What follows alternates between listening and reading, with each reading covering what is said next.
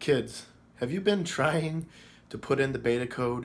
You'll see it on Twitter and you're trying to type it in as fast as you can on whatever device you're using. Well, obviously PlayStation for right now, but next weekend Xbox. But you're struggling? Well, I've got a solution for you. I'm to call it a secret in this heading for the title, but it's really not a secret. It's something that people don't think about, but it's extremely simple. You want to know what it is? This simple keyboard. If you have an extra laying around, if you have one on your computer, which I'm sure you do, just plug it in your PlayStation.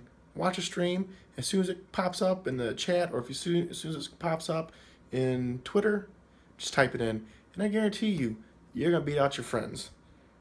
If they don't see this, but if they do, I hope you're fast typer because I know there's a lot of kids that can type fast, like myself. It's worked numerous times for myself and for my kids when I've done it for them. So there you go easiest way to type in a beta code. It's not a secret, but we're going to call it a secret. You guys have a great day and a great weekend.